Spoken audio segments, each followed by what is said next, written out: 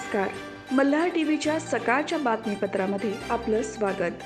पनवेल तालुक्यातील भाताण येथील अमेठी विद्यापीठातील कामगारांवर होणाऱ्या अन्यायाची उच्च आणि तंत्रशिक्षण मंत्री चंद्रकांत पाटील यांनी गांभीर्याने दखल घेत विद्यापीठावर कडक कारवाई करण्याचे आदेश कामगार विभागाला दिले असून विद्यापीठाला कामगारांना योग्य न्याय देण्याचेही आदेश दिले आहेत.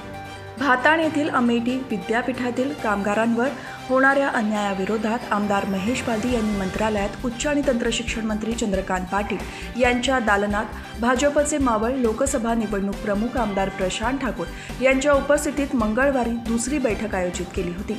दोन महिन्यांपूर्वी झालेल्या बैठकीमध्ये मंत्री महोदयांनी कामगार आयुक्तांना विद्यापीठाची चौकशी करण्याचे आदेश दिले होते. या विभागाने केलेल्या चौकशीमध्ये अमेठी विद्यापीठ कामगारांवर अन्याय करत असल्याचे समोर आले आहे. मंत्री महोदयांनी या विद्यापीठावर कडक कारवाईचे आदेश कामगार विभागाला दिले असून विद्यापीठास कामगारांना योग्य न्याय देण्याचेही आदेश दिले आहेत.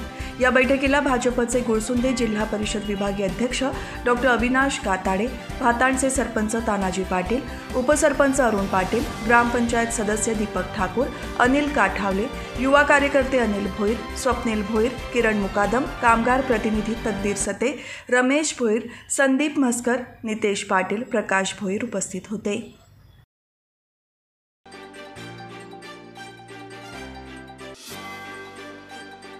तळोजा औद्योगिक क्षेत्रात कारखान्यामधून होणाऱ्या प्रदूषणामुळे नागरिकांना दररोज मोठ्या प्रमाणात त्रासाला सामोरे जावे लागत आहे.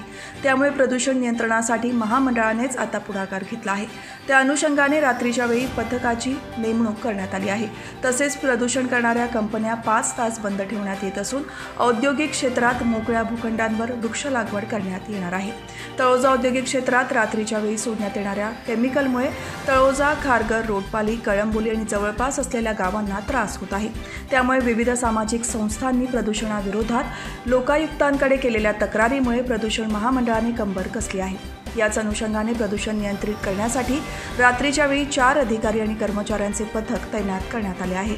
तसेच प्रदूषण नियंत्रण महामंडळांकडून कंपन्यातील पाण्याचे नमुने तपासणी केली जात आहे. प्रदूषण करणाऱ्या कंपन्या रात्रीच्या वेळी पाच तास बंद ठेवणे काही कंपन्यांकडून प्रदूषण होत असल्याचे निदर्शनास येताच तात्काळ नोटीस बजावणे पर्यावरणाविषयी जनजागृतीसाठी कंपन्यांमध्ये बैठक घेणे औद्योगिक क्षेत्रातील मोकळ्या भूखंडांवर आंबा पणस कडुनिंब चाफा या रोपांची लागवड करण्यात येणार आहे.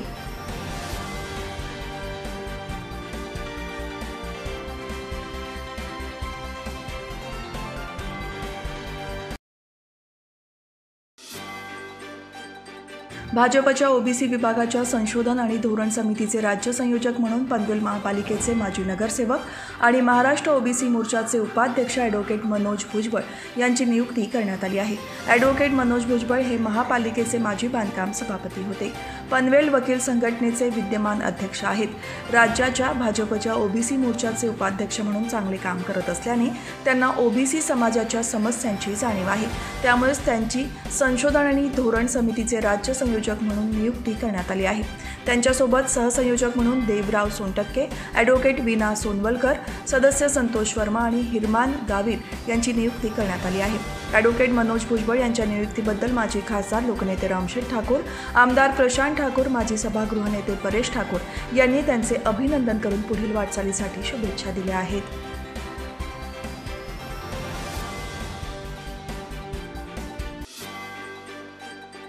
पनवेल येथील लेडीज स्पेशल ग्रुपच्या वतीने केवी कन्या शाळेत हळदीकुंकू समारंभ उत्साहात झाला. या समारंभात सुमारे साठ महिलांनी सहभाग घेऊन उत्स्फूर्त प्रतिसाद दिला. ग्रुपच्या संस्थापिका शशी देसाई यांच्या हस्ते समारंभाला सुरुवात करण्यात आली. आठ वर्षांपूर्वी या ग्रुपची स्थापना झाली असून ग्रुपमध्ये विविध क्षेत्रातील महिलांचा समावेश आहे. प्रत्येक संकटाच्या वेळी ग्रुपमधील महिलांचा हिरिरीने सहभाग असतो. नृत्य गायन उखाण्यांमुळे समारंभास रंगत आली. वयाचे बंधन न ठेवता आपली आवड जोपासून आयुष्य स्वच्छंदी कसे जगावे याचा प्रत्यय यावेळी आला. वेगवेगळ्या स्पर्धांमध्ये जिंकलेल्या महिलांना आकर्षक भेटवस्तू देण्यात आल्या. त्यामुळे त्यांचा आनंद द्विगुणित झाला.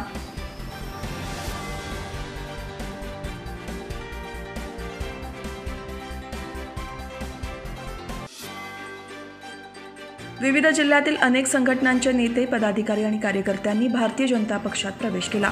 भाजप प्रदेश कार्यालयात झालेल्या या कार्यक्रमात प्रदेशाध्यक्ष चंद्रशेखर बावनकुळे आणि ग्रामविकास मंत्री गिरीश महाजन यांनी त्यांचे स्वागत केले.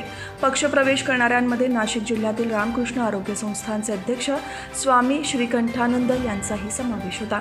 यावेळी भाजपचे मावळ लोकसभा निवडणूक प्रमुख आमदार प्रशांत ठाकूर उरणचे आमदार महेश पालदी भाजप उत्तर रायगड जिल्हा चिटणीस ब्रिजेश पटेल यांच्यासह मान्यवर उपस्थित होते.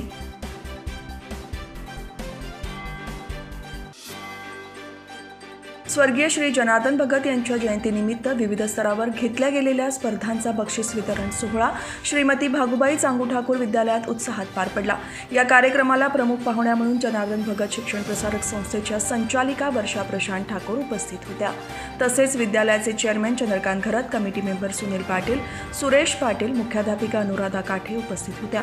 विविध स्तरावर एकूण दहा प्रकारच्या स्पर्धांचे आयोजन करण्यात आले असून वर्षा प्रशांत ठाकूर यांनी विजेत्या विद्यार्थ्यांचे कौतुक केले.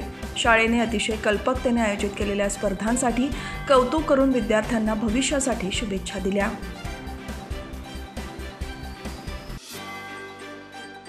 स्वच्छता अभियानानिमित्त नवी मुंबई महानगरपालिकेने पंधरा शाळांमध्ये ड्राय वेस्ट बँक तयार केली आहे. यामध्ये दोन हजार सातशे एकाहत्तर विद्यार्थ्यांनी सहभाग घेतला आहे. घरातील सुका कचरा पिशवीमध्ये भरून तो शाळेतील संकलन केंद्रात साठवला जातो. सहभागी विद्यार्थ्यांना पॉईंट्स दिले जात असून दोन हजारपेक्षा जास्त पॉईंट्स मिळवणाऱ्यांना वेस्ट वॉरियर प्रमाणपत्र देऊन गौरवण्यात येत आहे. बेलापूर आणि वाशी विभागातील शाळांमध्ये हा उपक्रम सुरू आहे. विद्यार्थ्यांना सुका कचरा संकलित करण्यासाठी कापडी पिशव्यांचे वाटप केले जाते. त्यांनी जमा केलेल्या प्लास्टिक बॉटल्स चिप्स आणि चॉकलेट कवर काचेच्या बाटल्या असा सुका कचरा आठवड्यातून एकदा ठरवण्यात आलेल्या दिवशी शाळेत आणला जातो. या कचऱ्यासाठी विद्यार्थ्यांना पॉईंट्स दिले जातात. दोन हजारपेक्षा जास्त पॉईंट्स मिळवणाऱ्यांना बेस्ट वॉरियर प्रमाणपत्र देऊन गौरवण्यात येत आहे.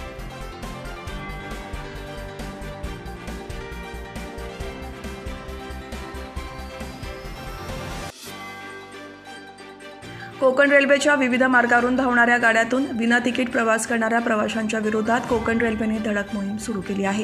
या अंतर्गत वर्षाच्या सुरुवातीलाच म्हणजे जानेवारी महिन्यात तब्बल नऊ हजार पाचशे अठ्ठेचाळीस फुकट्या प्रवाशांवर कारवाई करण्यात आली आहे. या अंतर्गत संबंधितांकडून दोन कोटी सतरा लाख सत्त्याण्णव हजार रुपयांचा दंड वसूल करण्यात आला आहे. कोकण रेल्वेच्या विविध मार्गांवरील गाड्यातून विना तिकीट प्रवास करणाऱ्यांची संख्या मोठी आहे. ही बाब लक्षात घेऊन कोकण रेल्वेने प्रत्येक गाड्यातून नियमित तपासणी मोहीम सुरू केली आहे. त्यासाठी विशेष पथकांची नेमणूक केली आहे.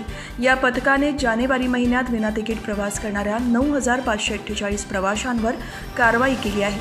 प्रत्येक मार्गावरील गाड्यातून ही तपासणी मोहीम सुरूच राहणार असून गैरसोय टाळण्यासाठी प्रवाशांनी वैध तिकीट घेऊनच प्रवास करावा असे आवाहन कोकण रेल्वेकडून करण्यात आले आहे.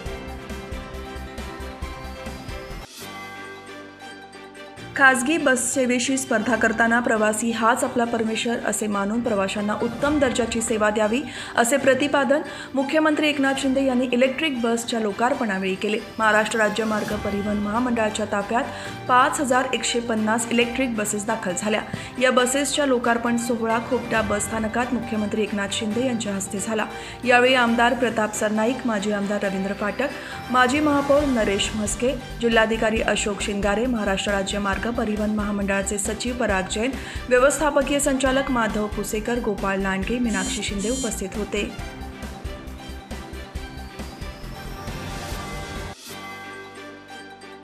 शिळफाटा जंक्शनवर उभारण्यात आलेल्या उड्डाणपुलाच्या पनवेलकडे जाणाऱ्या मार्गिकेचे मुख्यमंत्री एकनाथ शिंदे यांच्या हस्ते लोकार्पण करण्यात आले. पनवेलकडे जाणाऱ्या या उड्डाणपुलाच्या या भागात तीन मार्गिका असून मुंब्रा दिशेला जाणारी बाजू पुढील दोन महिन्यात खुली करण्यात येईल. मुंबई आणि आसपासच्या भागातील वाहतूक कोंडी कमी व्हावी हे एम एम आर डी एचे उद्दिष्ट असून या पुलामुळे ठाणे आणि जन पी टी दरम्यानची वाहतूक कोंडीची समस्या सुटण्यास मदत होईल. यावेळी मुख्यमंत्री एकनाथ शिंदे यांनी सांगितले की हा उड्डाणपूल एम एम आर ए क्षेत्रातील वाहतूक व्यवस्था सुधारण्यासाठी अत्यंत महत्त्वाचा आहे. या पुलाचे लोकार्पण करत असताना मला फार आनंद झाला आहे. मुंबई महानगर क्षेत्राचा शाश्वत विकास व्हावा यासाठी M M R D A सातत्याने प्रयत्न करत असून या प्रयत्नांना आम्ही सातत्याने पाठबळ देत आलो आहोत. याचे मला समाधान आहे असे त्यांनी सांगितले.